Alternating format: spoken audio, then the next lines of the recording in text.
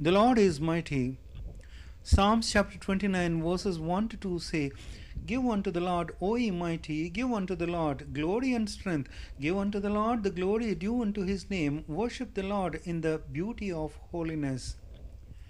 David found grace in the sight of the Lord, and calls mighty men of valor to come unto the Lord, and give glory due unto his name, and to worship him in the beauty of his holiness.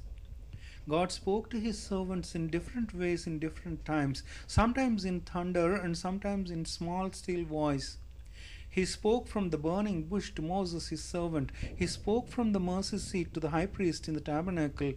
And in small still voice to Elijah the prophet, God spoke by the mouth of prophets, namely Jeremiah, Isaiah, and many more. And in the last days, He spoke through His one and only Son, Lord Jesus Christ. The Lord's voice was upon the waters, His glory was in the thunders, and His voice was powerful. King David says, The Lord's voice and his word were mightier than any sword or any other weaponry used by humans to win a battle. There are many incidences in the Word of God which show that God's word was enough to defeat his enemies. His word is two-edged sword, and his right arm is mightier than any weapon men may use.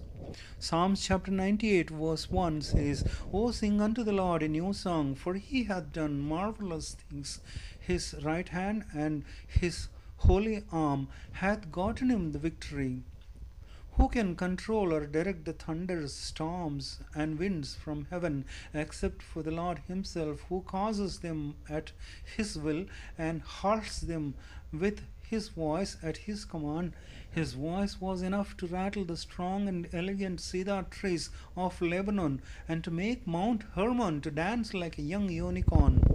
He is mightier than mighty kings. He gave strength to his servant to kill Og, king of Bashan, and caused small stone from the sling of David, his servant, to bring down the giant Goliath to earth and to kill him. The Lord shook the wilderness of Kadesh, and his voice divided the flames of fire. The Lord is the creator, and he is the king over all creation. No man can control the natural calamities except face them with sorrow and reconstruct their damaged properties when God brings them on his enemies to punish.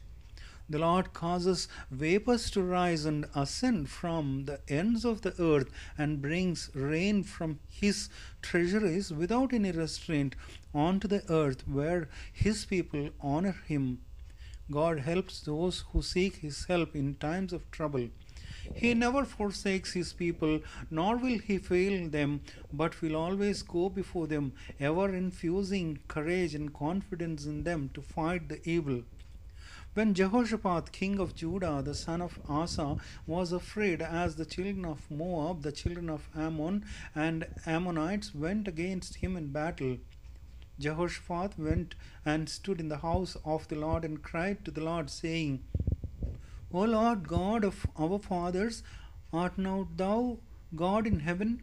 and rulest not thou over all the kingdoms of the heathen? And in thine hand is there not power and might, so that none is able to withstand thee? Art now thou our God, who didst drive out the inhabitants of this land before thy people Israel, and gavest it to the seed of Abraham thy friend forever? Reference Second Chronicles chapter 20 verses 5 to 7.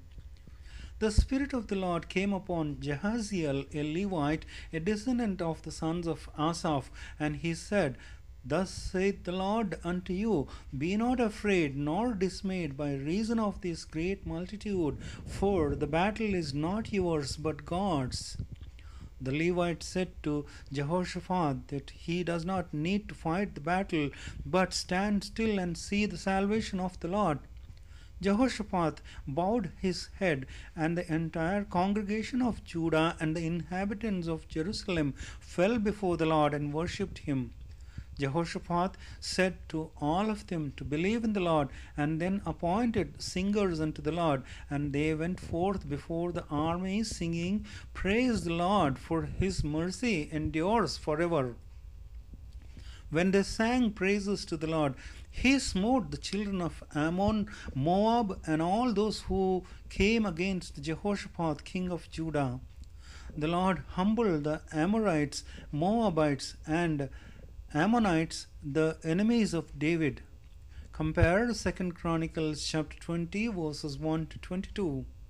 Psalms chapter 136 verses 1 to 3 say, Give thanks to the Lord for he is good, for his steadfast love endures forever. Give thanks to God, God of gods, for his steadfast love endures forever. Give thanks to the Lord of lords, for his steadfast love endures forever. This message is written and brought to you by Leslie John.